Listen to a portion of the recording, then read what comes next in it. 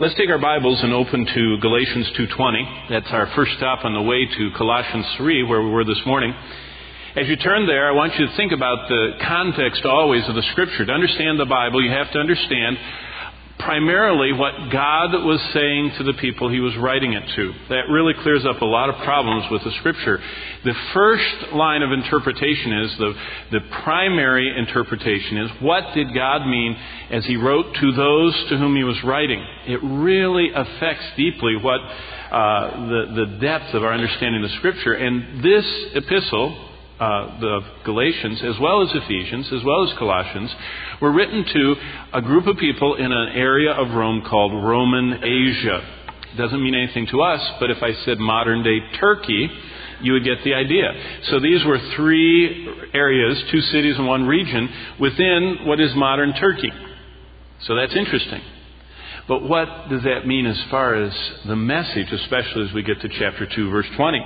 Well, Roman Asia, uh, or modern day Turkey, was the most Roman of the Roman Empire. In fact, even today, when you take uh, tours over there, there are more Roman ruins in Turkey than there are in all of Italy combined. There are more Greek temples in, in Turkey than there are in Greece. It was the, the epicenter of the ancient Roman Empire. It was the most civilized, you might say, other than Rome itself, which was a kind of a, a, an island there in Italy. The most Roman, outside of Roman, Rome itself, was all of Turkey. That was the most developed part of the empire. Again, it doesn't matter. So you're saying, why the history lesson? Well, as we get to Galatians 2 this evening, I want to describe daily life in the Roman world why they needed Galatians 2:20. In Roman Asia or Turkey is also a city that we know from the book of Revelation called Thyatira. That's a city from Revelation 2 that they excavated uh, kind of completely the whole city and have examined the culture of it. And it gives us probably the clearest insight into what was going on in the time of Paul's writing from the same region. What, what was life like uh, kind of like if you want to know what America was like 2,000 years uh, in the future, looking back 2,000 years, if there's even life on this earth. Uh, they would love to know what society was like in our time. And that would be captured by some of the local writing. The local writing about Roman Asia is like this, and I'd like to read it to you. This was a, the manufacturing hub of the ancient Roman world, this province of Asia. Most workers were members of guilds, they called them, guilds, like a, a, labor union, which we would have today. They would set the price for their labor. They would give their sales areas like we give uh, territories to salespeople. And the people of the ancient Roman world were potters and dyers and tanners and bakers and metalworkers and textile makers, bronzesmiths, everything you need for culture and for all that is purchased by culture.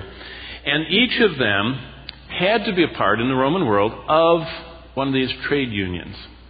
So if you were a professional anything, uh, metal worker or, or leather worker, like the Apostle Paul was, and other areas, and lived in one area, you could not. Pre- now remember, Paul was an itinerant one, but if you lived in a city, you had to join the cooperative, guild, or trade union.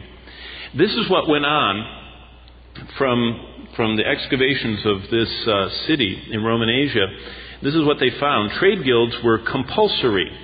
In order to continue in your trade in one city, you had to be a member of the guild. In other words, it was what we would call today closed shop. You have to be in a, the union to work there. And so that was the first element. The second one, every guild of Roman Asia had a patron god or goddess of the Roman pantheon. Remember, they had the Roman versions of the Greek gods. And so they each had kind of like the, the god of metalwork or the god of whatever, um, of tanning leather or whatever. And they would start work with paying daily homage to that deity. In other words, your shop had to kind of have, you know, like we would have uh, in some places. Um, I know at the auto plants that they have this this morning regimen where they do jumping jacks, you know, the Japanese ones in Tennessee, or or maybe they roll the flag up and people sing, you know, uh, the the national anthem is, is some opening event at a place. in these guilds, you would offer an offering to the patron god. So that would be immediately offensive to any believer. But it was obligatory at the opening of all meetings of the artisan and craftsman in their work that you attend. So if you can imagine, you were assaulted right away. If you were a, a trade person, not a stay at home person, but if you went out into the work world, you were assaulted. If you had any kind of skill and were a part of a career type job, you were assaulted with paganism. But, you know, we would say, you know, I don't believe that, and go ahead and do it, and I'm just going to stand here and let you do your thing. But that isn't where it ended. There were regular meetings of all the members of the trade guild. And these, uh, Ramsay, the uh, famed 19th century archaeologist, found the, the, the diary, as it were, of a, of a regular monthly meeting of these unions. And what he said is that business would follow, they would talk about their union, then they would have the customary banquet, uh, known for, in the ancient world, sexual license. Now listen to his excavation. This is what Ramsay said. On a regular basis, the believers of Roman Asia would be exposed to revelry, license, intoxication marked by these pagan religious trade societies. The members would lounge on dining couches. Remember, they, like in the Last Supper, you would kind of recline and eat toward the center, and your feet would be extended outward, and you'd be leaning in, eating out of the middle. So they're, they're laying on these couches, having their meals as they would have banquets for their, their guild. And they would be surrounded, Ramsay said, by troops of unclothed, dancing, and singing slave girls. So that's the kind of like the business lunches. Aren't you glad things are a little different nowadays? I mean, that would be unbelievable. But this is what Ramsay continues. He says, This conduct, this dining couch, intoxication, the dancing girls, would be fatal to all self restraint of the spirit. In short, a guild was no place for a Christian, yet quitting the union would be economic suicide. So Paul is writing to a group of people that when they came to Christ, they were they were losing something. They could no longer freely operate in, in the business world. They could no longer freely operate in the manufacturing world. They couldn't comfortably go through life like they used to go through life because something had changed. Their whole orientation had changed. Their whole, their whole outlook on what was going on around them had changed. So the battle with the flesh would rage every day in all these towns of Roman Asia. Add to that, when you got off work, the bathhouses. Remember, most people didn't have indoor plumbing back then. Indoor plumbing was common, you just didn't have it because the cities were laid out with central plumbing, and you would go for your bath to a bathhouse that the Roman government provided. They provided the wood and they'd heat the water and they just, it was just, the, it was a public service, kind of like we have trash removal, they had bathhouses. Well, in the ancient world, and we know that Paul went to these bathhouses because they accused Paul when he got to Thessalonica of being an escaped criminal.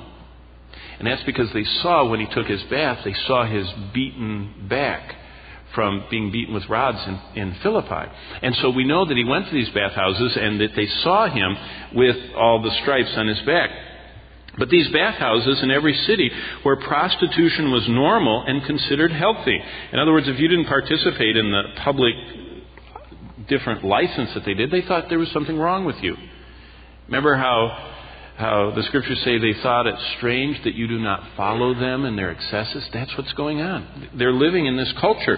Athletic facilities. Okay, so you you, want to get away from work and you stay away from the baths. How about working out? Well, athletic facilities, were, there was such an emphasis placed on the human body that many sports were practiced and competed in total nudity. You know the Greek statues, how they intricately show all the muscles and all the physique? That's because they worshiped the human body. So much so that you showed yours off in public. So if you can imagine, these saints were vexed with the flesh, with temptation, and with sin. Now, let's listen to Paul's words in Galatians 2:20. Galatians 2:20. In fact, let's stand together for the reading of this and then we'll pray because I love this verse and you know it by heart, but listen to it. Okay? Galatians 2:20. Paul writing to these people in Roman Asia, in the province of Galatia, these people that are surrounded at work with dancing girls, that are surrounded at the bathhouse with, with prostitution forced on them, that they're surrounded every time they go to the athletic place with public nudity, every time they, they just are just surrounded by filth. Paul says, You wonder how to make it, you new ones in Christ? I'll explain my, my practice. I have been crucified, verse 20 of chapter 2 of Galatians, with Christ. He says, When Christ died on the cross, I was crucified with him. It is no longer I who live now.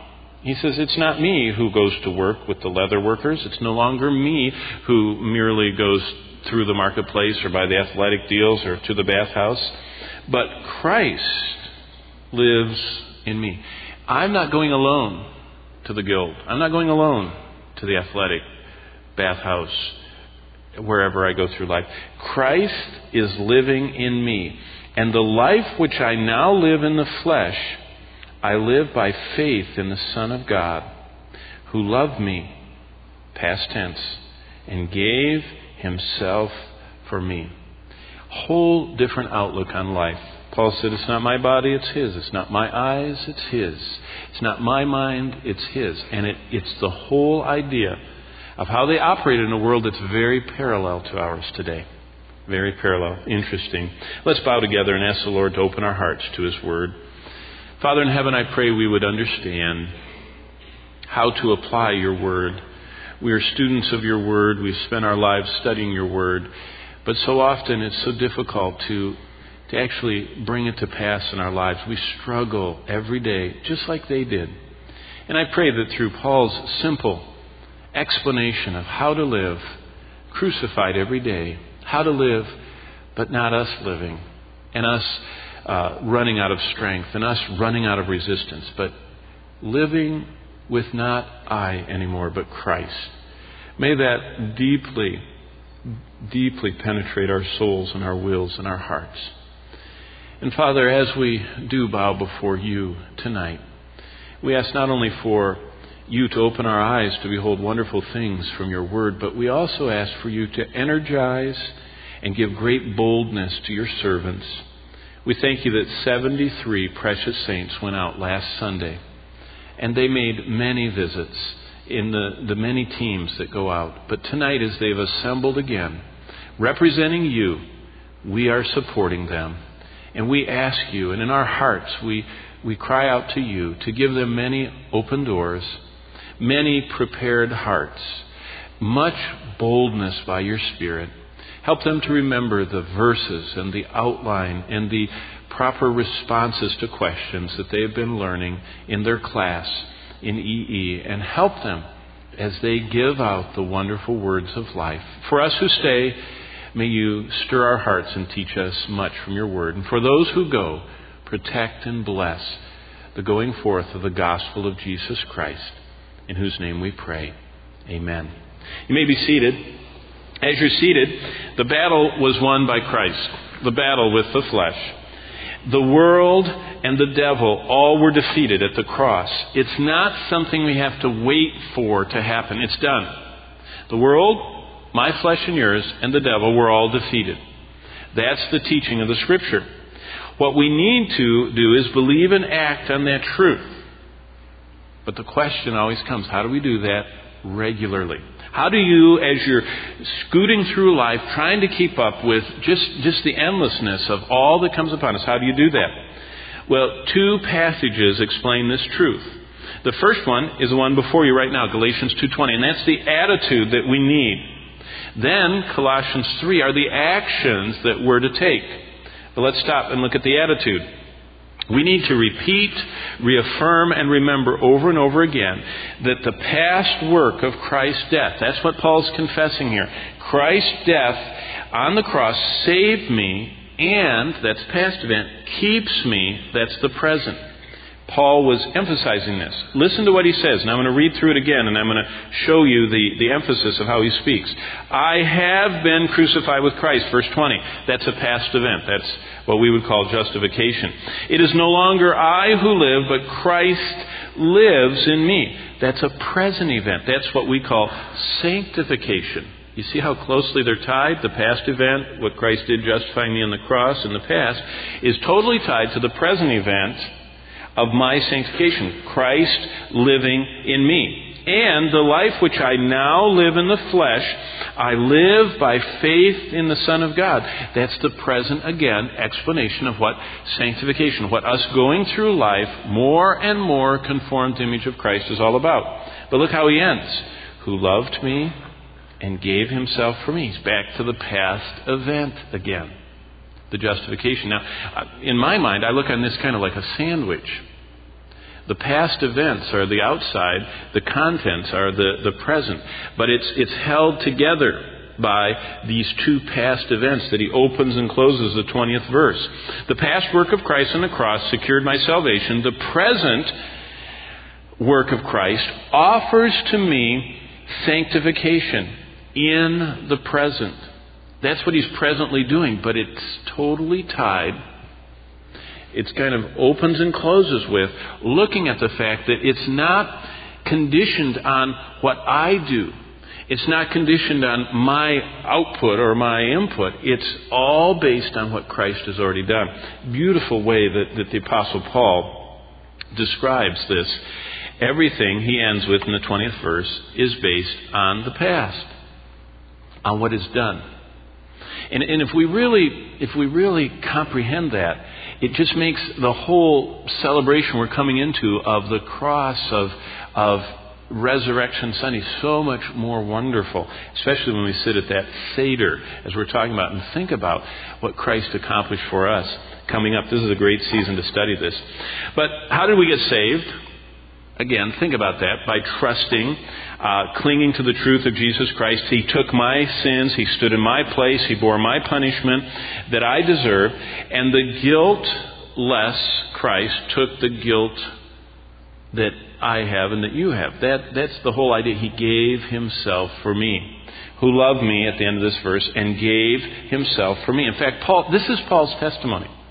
If you want to hear, you know, this, the short form, you know, in EE you're supposed to have a long and a short form.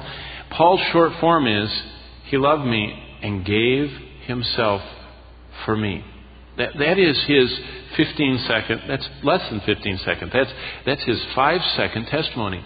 He loved me and gave himself for me. That's salvation. And Paul talks about that. The sinless one taking my sin, the holy one taking my wretchedness, and on and on we could all go if we think about what he did. But did I see him personally on the cross? No. Did Paul? There's speculation. Could be that while he was studying under Gamaliel, he might have seen the crucifixion. We don't know. But we know for sure we didn't see it, right? You aren't 2,000 years old, and I'm not either. So we didn't see the cross. So how do we believe in that? We believe in it by faith. Whom having not seen we love, in whom though now we see him not, we rejoice with joy unspeakable. It's, it's by faith. I believe the truth of God's word as a six year old. When my mom told me, I just believed. I just didn't know that anything else could possibly be true but that. She just told me that's God's Word. I believe the truth of God's Word. And God changed me forever. God changed me. I believe what He did in the past. That's what salvation. The same way we were saved is the same way we live the rest of our lives. So we apply that faith in the work of Christ to the rest of our walk. See, most of us really are, are sure about that salvation thing, but we really struggle with the temptation and doubts and fears and struggles and going through life. But Paul says, and now let's turn to Colossians. On the way to chapter 3, look at Colossians 2 6. I alluded to this last time, uh, but I want last Sunday, but I want you to see it again. Colossians 2 6. Paul ties these two ideas together of, of the sanctification justification idea and the same faith needed because I believe the truth of God's Word, and it changed me forever. And the same way I was saved is the way I live the rest of my life. As Paul says in Colossians 2 6, as you have received Christ Jesus the Lord, so walk in Him. The sanctification is tied to the same faith that we believed in and that He justified us by. There is a, a, a wonderful correspondence there. So apply that faith that you and I have for the work of Christ on the cross and apply it to the rest of our walk. And the truth is, flesh can't defeat flesh. My um, being good for six years wasn't good enough for God. That's how old I was before I was saved. Six years. I had six years to try my hardest to be good. And I couldn't accomplish enough to, to satisfy God. And I had to trust in His satisfaction, His dying in my place, the Lord Jesus Christ. Flesh can't defeat flesh. Resolves, promises, fighting, striving in our own power can only lead to defeat. So as we were saved, totally trusting in His work, so we walk totally trusting in what He's already done for us. That's what Paul's message is as we get to this third chapter. Now, why do we even have to consider this? Because if we don't heed the action we're supposed to take, remember we have this attitude I'm crucified with Christ. I know all that's true. I know He died in my place, and I know it's all done. But if we don't act upon it, we have this glaring warning. How do we get to all this?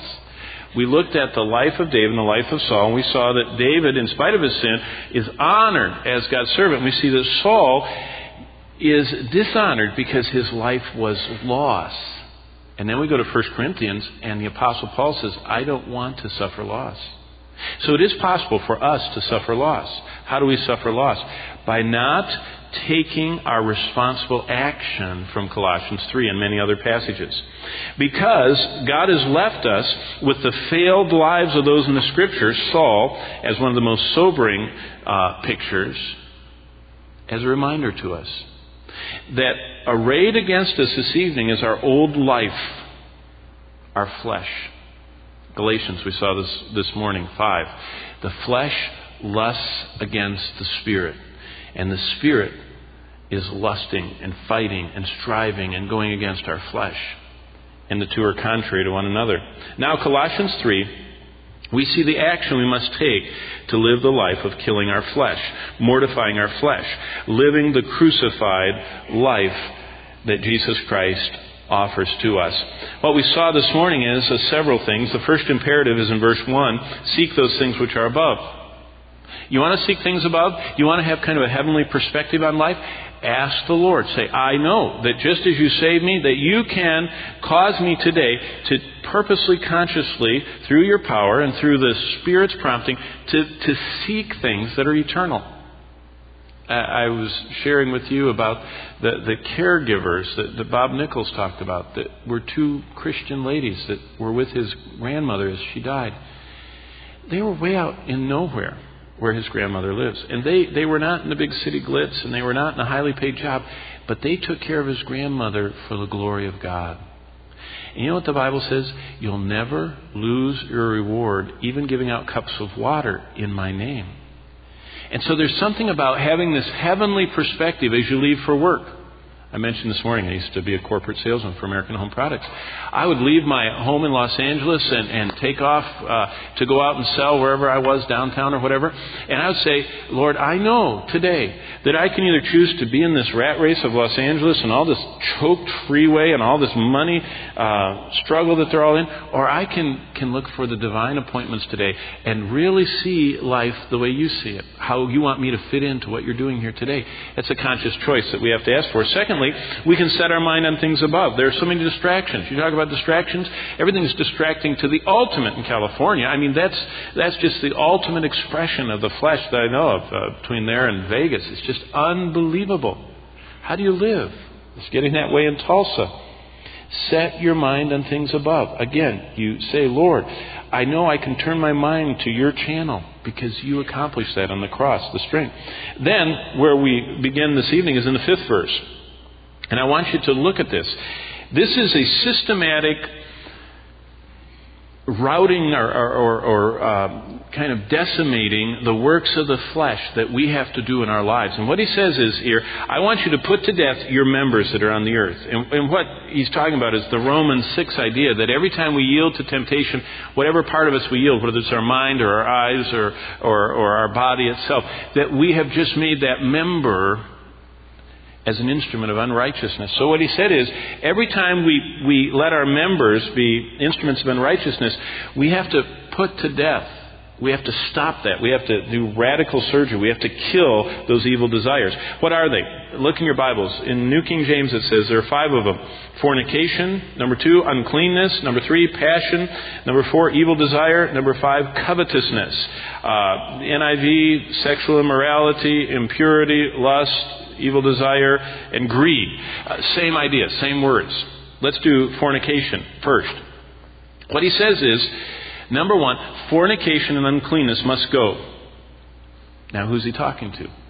Remember, he wasn't talking to Tulsans primarily. We're secondary. He's talking to people in Roman Asia, people in the highest developed culture of the Roman Empire. Chastity, which is absence of fornication, was a completely new virtue that Christianity brought into the world. That, that was not really a thought about thing. You know what their thoughts were? The food is for body and the body is for food. So the body is for immoral things. We were made to express ourselves. And what's one of the most delightful ways to express yourself? It's in the sexual realm. And so they said, just do it. Christianity brought chastity. In the ancient world, sexual relationships before marriage, outside of marriage, inside of marriage, and with anything that you could possibly think of were normal and accepted. While Paul was writing this epistle to the Colossians, the man that was the president, the emperor, was an openly practicing homosexual sodomite. And he would appear in public, Nero, I'm talking about, he would appear in public with his wife. His wife was a castrated male slave. I mean, how gross could you get? To show up in public with Florus, this, this, this evil representation of all that homosexuality was in the Roman Empire. And yet, that's who, who was Nero's consort. And Nero was just flaunting what the culture believed. The sexual appetite was regarded as a thing to be gratified, not controlled, and the Christian ethic of insisting on chastity regarding the physical relationship between the sexes as something precious and indiscriminate use spoiled it was so bizarre to them that they just they just thought the Christians were weird. Kind of like what's you know, what island did you come from? We don't know anything about this. Fornication any sexuality outside of, uh, of marriage uh, was was condemned by God and misunderstood. I mean, not understood by the pagans. And so Paul had to tell the believers, you cannot go back to the way you were raised in your culture. Now you say, well, we don't live like that. You know, Oklahoma is pretty tame, right? Is it? Why is it that in every church, the number one or number two sin in every single church sin list was always fornication? Because no matter whether it's publicly known or not, this is always lurking in the background. I know just we just had the situation with the, the pastor here in town with his secret life.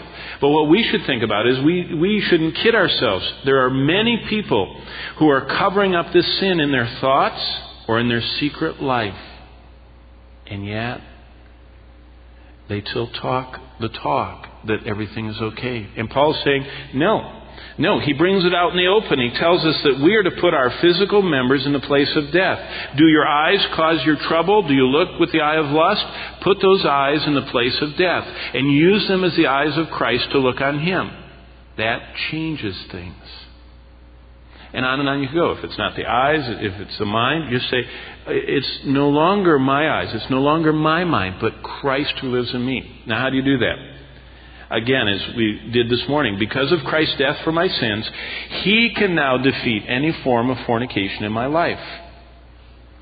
If I ask Him to, if I want Him to. Remember how it says, uh, There's no temptation taking you, but such as is common to man, but God is faithful who always make a way of escape. See the lit exit sign over there? There's always the Lord's very clear way out in every one of these that we're going to look at fornication, uncleanness, passion, evil desires, covetousness, anger, wrath, and malice, and all the other ones we're going to see. What do we do? We say, Lord Jesus, right now I want you to kill every immoral desire in my life. You know what? You'll have to ask him to do that tomorrow. And, and if you're like St. Augustine, you have to ask it every five minutes. Because St. Augustine, you know, St. Augustine, the, the, one of the greatest minds of all, he lived such a Roman life before he got saved that, that after he got saved, all of his former girlfriends used to chase him, one in particular. And, and he, just, he just was so so learning this truth that he had to say Lord Jesus right now and he in his diaries he'd say that he had to every few moments say Lord Kill that desire. Kill that, that memory I have. Kill that sight I just saw as he went by the bathhouse. Kill what I just saw when I went by the athletic fields. Kill what I just saw the dancing girls while I was at this banquet. He says, I, those are your eyes. And you see, it isn't a once for all, I've dealt with that. He's saying we should be constantly putting to death any member. If our ears get us to sin, in fact, I was, I was just standing in line, I rarely listen to that music.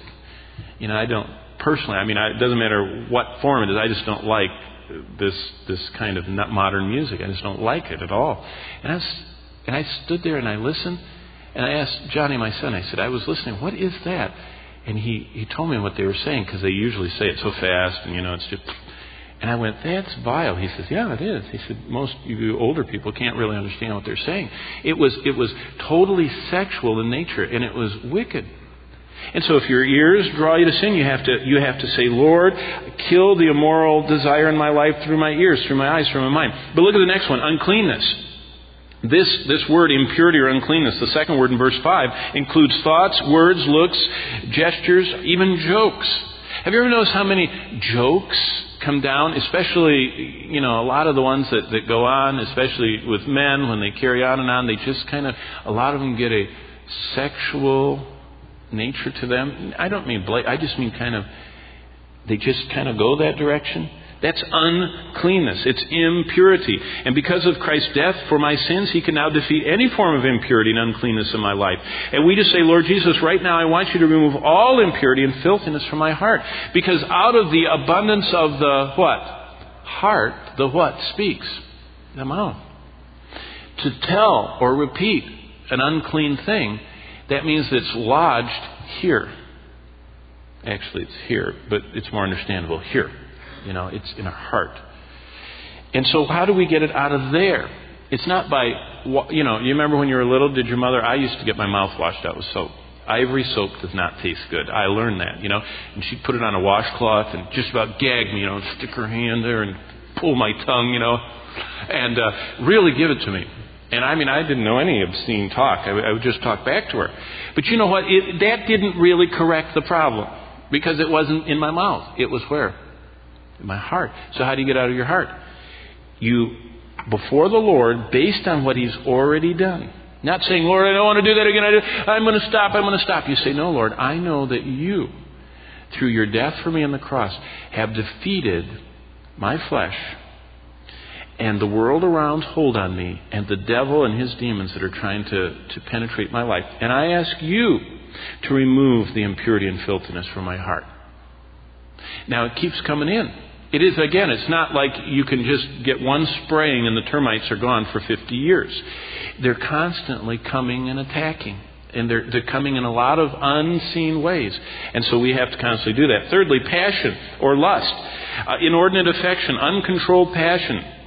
This third world, or third word here in verse 5 is the kind of person who is a slave of his passion. That's what this word means. It's, it's a, different. It's not the normal word for lust. It's a little different. Uh, pathos is the word. But it speaks of a slave to whatever passion is there. It's kind of like someone who really gets into stuff. And they can get into this passion for, inordinately, for anything. And he says, watch out for that. And again, because Christ died for us, He can defeat any impurity and uncleanness and passion and lust. And we can just ask Him, I want you to remove that, that slavery I have in my life to whatever it is. I mean, people can get, can get enslaved to anything. I just read uh, in the news that, that they figure that Americans are going to waste $1.6 billion a day because they're going to live stream to the computer screen some athletic event that's going on. And they said that people are going to not be able to resist it. To, they're going to be able to watch uh, this competition in basketball or something, and they're going to be able to see it at work. because they can't stop. And they want to do it. And they said productivity is going to go down. And the Lord says, doesn't matter what you get enslaved to. Evil desires. King James, evil concupiscence. Evil desire is a person who is driven by a desire for wrong things. And again, we can say, Lord Jesus, liberate me from my uncontrolled drive for wrong things, whatever form they are. And covetousness, and this is more in, in the realm of, of where so much of America is greed, which is idolatry. Uh, this word pleonexia is one of the ugliest sins. It's hard to find a single word to translate. It comes from two Greek words. The first half, pleon, means more, and the second half means to have. More to have is what this word is. The, the word covetousness in Greek is more to have. More to have of what? Well, it's the idea of the insatiable desire to have more of whatever we like.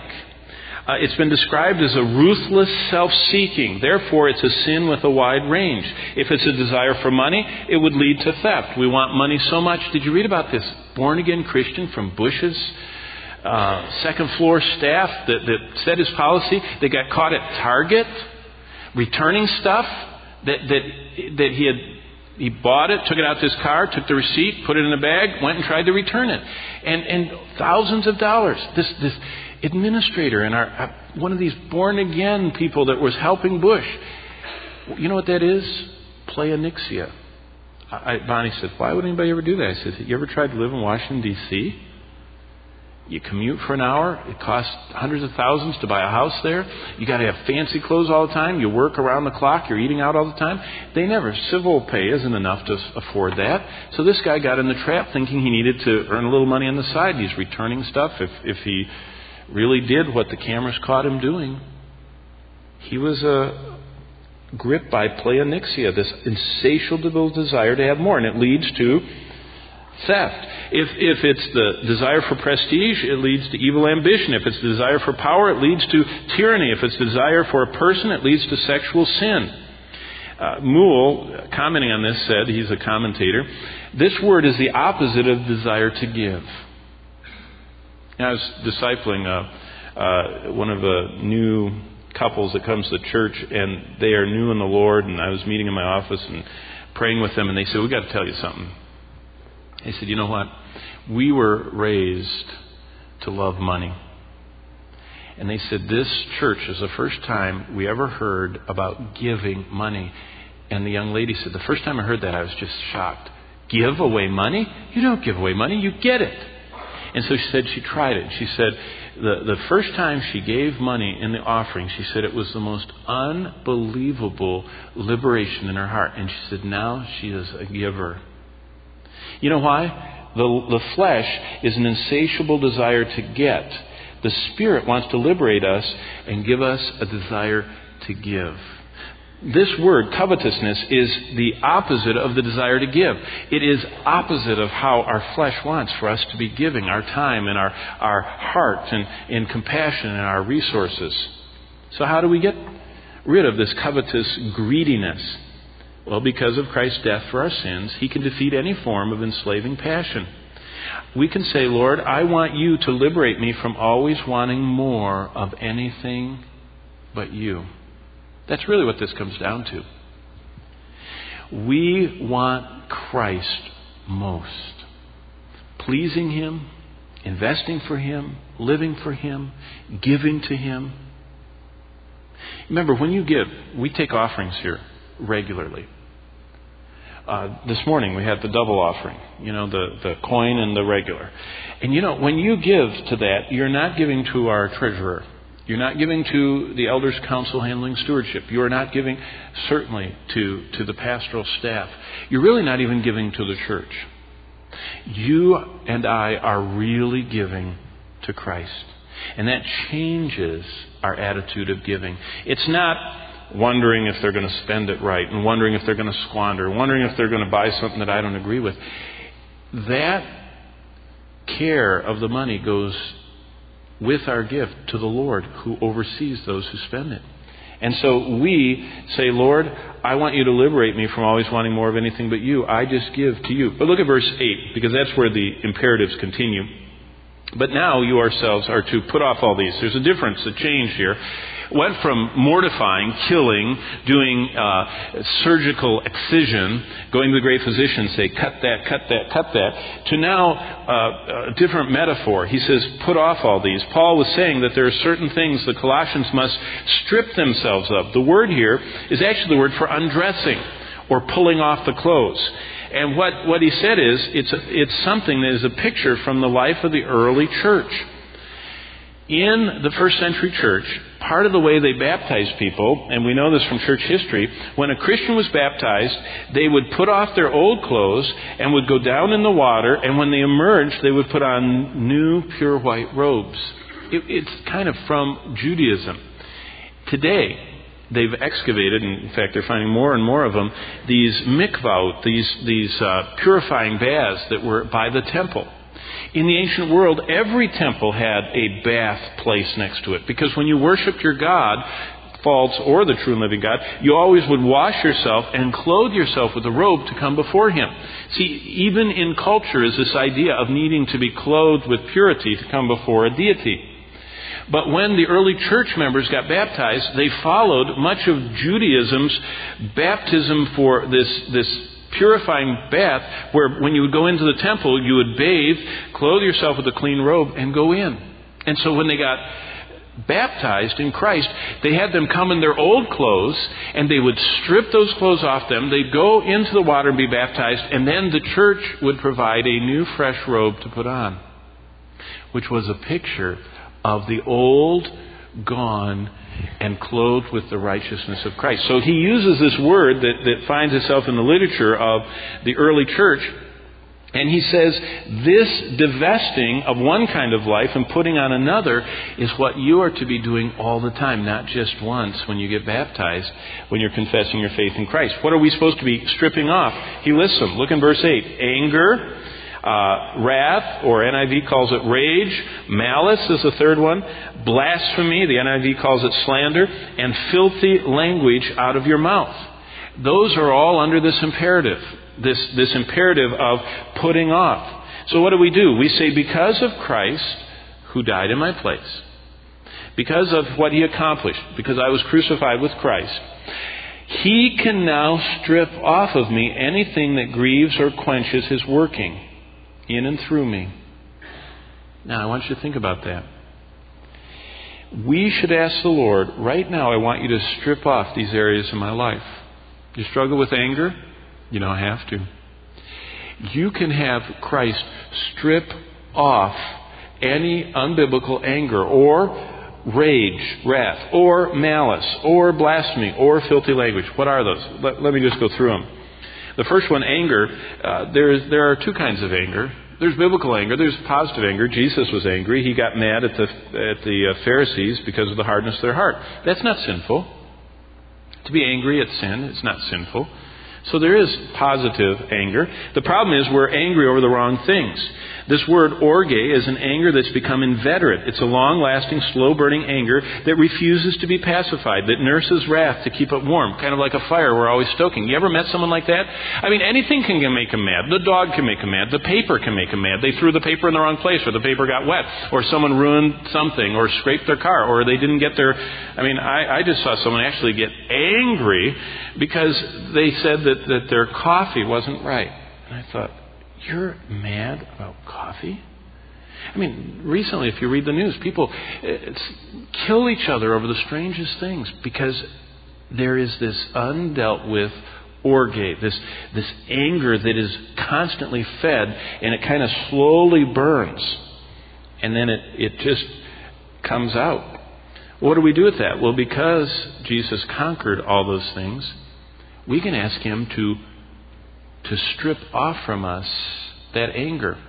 I have a fireplace. I love my fire. I'm so sad it's getting 80 outside. I still had it going today, and I thought, oh, Lord, is it really spring? You know, do I have to stop burning my fireplace, my wood? I mean, I just, the kids help me. It's just like campfire time.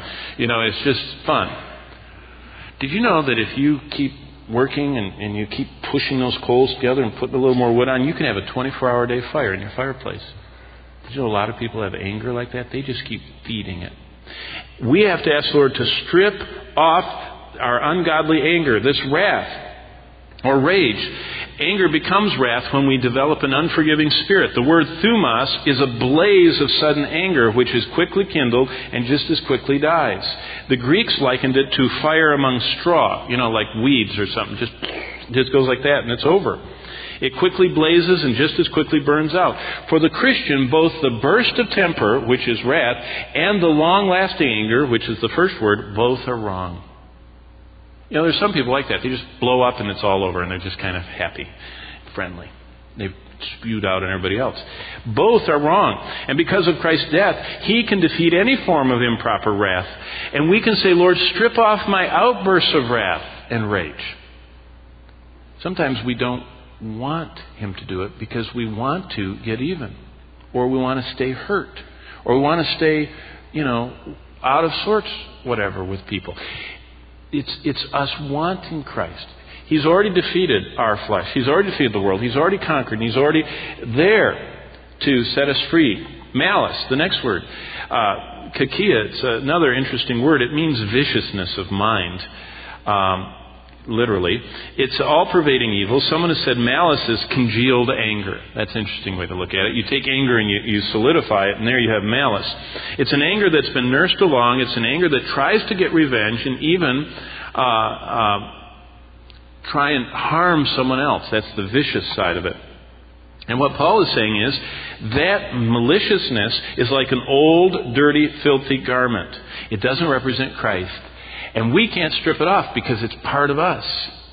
See, the idea of this is not, mm, I'm going to resolve that uh, I'm going to take a deep breath and think of something else. I'm not going to be angry. Yeah, it works. Five seconds, ten seconds, half hour, who knows? But it's not what we're talking about here. This is not biblical change. That is just resolve, you know, that, that I'm going to be better. And, and malice can't be overcome by anything other than saying, Lord Jesus, right now, strip off my viciousness, my, my kakia, my, my malice that I have. You know it. I know it. I know I feed it. I don't want it. Take it away. Two more blasphemy, or NIV puts it slander, insulting and slanderous speaking in general. Uh, when it's directed against God, it's blasphemy, uh, defaming the name of God, not just taking his name in vain, misrepresenting him, hating him, like in the death of a child. How could you do this? You know, that's a form of blasphemy to be angry at God, and, and it happens. Sometimes people are overcome with situations. But it's much more likely this word, uh, blasphemy in the context, is slanderous talk against a fellow man, a person, another another believer or anybody in general. And, and what he's saying is, don't slander. And because of Christ's death, he can strip off slander from us. Just, just bad mouthing is the way that my parents used to it. Don't badmouth them, they'd say. Don't, don't tell bad things about them. And then the last one is filthy language out of your mouth. The word uh, is foul communication. It means abusive speech, filthy speech, obscene speech. And what, what he's telling them is don't ever let your yourself be clothed with these things. Don't be clothed with anger. That's a dirty garment. Don't be clothed with rage. Don't be clothed with this maliciousness. Don't be clothed with blasphemy or slander. Don't have any obscene talk. How do we do that? We say, Lord Jesus, right now, cleanse my mouth and my heart. So nothing inside me is filthy. Nothing inside me is smoldering. Nothing inside me is, is, is, is feeding that, that anger that viciousness that I want to harm someone else. It, it's so neat when you give vengeance to the Lord. Vengeance is mine, saith the Lord, I will recompense. We can never pay people back for what they've done to harm us. And God says, I will always execute vengeance my way, my time. Give it to me. And that's why Paul could operate. He was so maligned, so harmed, so abused, so treated, and he just gave it to the Lord. But he still suffered. He says, Who suffered and not been hurt? He goes through his list. But after he felt that, after his heart or his mind or, or whatever was, was tainted and became an instrument potentially of, or actually of, uh, slander or abuse, he'd say, Lord, I don't want that member. I don't want my tongue to respond that way. Do you remember when He was with the high priest, and he said, "Thou whitewash wall," and they slapped him, and you know, and and he when he heard it was the high priest, he says, I didn't mean to do that. You saw, you saw sanctification in process right there. I mean, that high priest was a Christ uh, dishonoring man. But Paul would not dishonor his position, and we see sanctification at, at place in his life. So, before we go tonight, I would like to just have you bow with me, and I want to read through this. And, and if there's any struggle in our lives with any of these things, let's deal with it tonight before we go. If there's a, a, struggle with sexual immorality, either in your mind or reality, with uncleanness and impurity, with passion or lust, with evil desire, with covetousness or greed, with anger, with wrath or rage, with malice, with blasphemy or slander, or with filthy language, let's do something about it. Let's bow before the Lord. Listen to these words and then pray with me. Because of Christ's death for my sins, Christ can now defeat any form of these sins that displease Him and that kill my fellowship with the Lord, any filthiness in my talk, any anger in my heart, any yielding of my members for sexual immorality, any impurity in my heart that springs out, Lord Jesus, right now, cleanse my mouth, cleanse my heart, so that nothing inside of me is filthy abusive, smoldering, nothing that will cause me to dishonor you. Strip away these filthy garments from my heart. Just take a moment, and whatever the Spirit of God has pointed out to you, just affirm that and say, Lord, because of your death in my place, strip these things off. I don't want them. I'm a new creature. And you and you alone can defeat this in my life. And let this be the beginning of a regular fleeing to be crucified anew and afresh with Christ by letting Him live and reminding ourselves of what He's already done. So it's not me trying, but it's Christ living through me. And Father, teach us the reality of crucified living Help us this week as we read your word to see what you command us. You've given us the power through your Spirit because of your death by your grace to accomplish. And let us strip off the old, and as we'll see next time, consciously clothe ourselves with the new. And we ask this in Jesus' precious name. Amen. God bless you as you go in Christ.